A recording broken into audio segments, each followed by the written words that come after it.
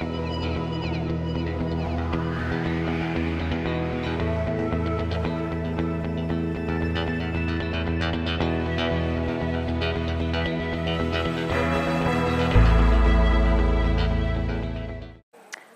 hello, my name is Amber Marlow. I'm the Extension Director for Courte Oreilles Ojibwe Community College, and we are at the Sustainable Agriculture Research Station talking about our SARE project for the Beginner Farmer Rancher program.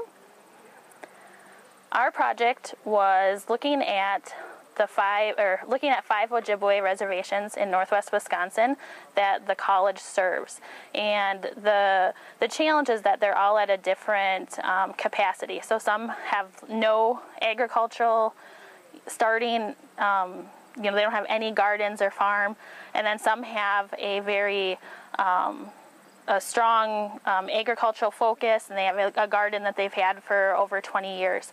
So our goal was to really look at uh, what grew better on each of those um, reservations. So we did a research plot, and that plot was 30 by 30 feet, and it was designed with um, native indigenous plants.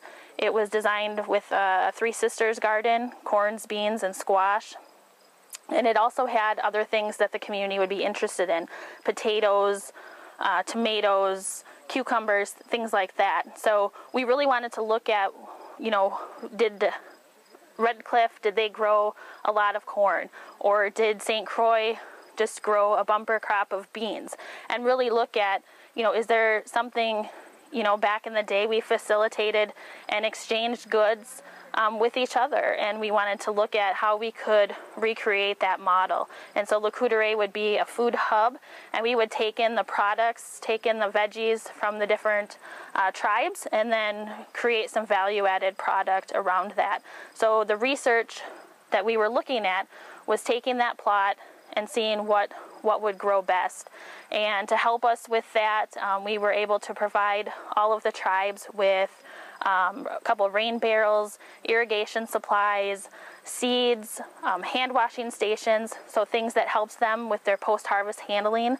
We also helped them with um, garden carts to carry their produce, um, with things, um, basic needs from gloves and uh, knee pads to just basic um, garden tools. So everyone had the supplies that they needed.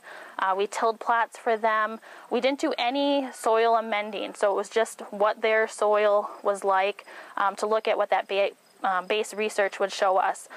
I think the biggest thing that came out of the project, though, was just the partnership building. Was that we really connected with those communities. Um, we reached out and had interns. We hired interns to to help facilitate the, the program and the growing and just talk about sustainable agriculture. We also offered um, educational workshops in the communities, so canning, um, basic gardening demonstrations, composting. So, really looked at each community, what their needs were, and then offered those specific programs.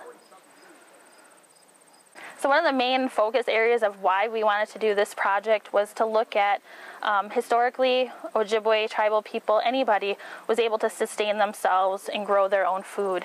And we were truly looking at that key for what food sovereignty meant, especially to tribal people, and that it's been said that a tribe is not sovereign unless they can feed themselves.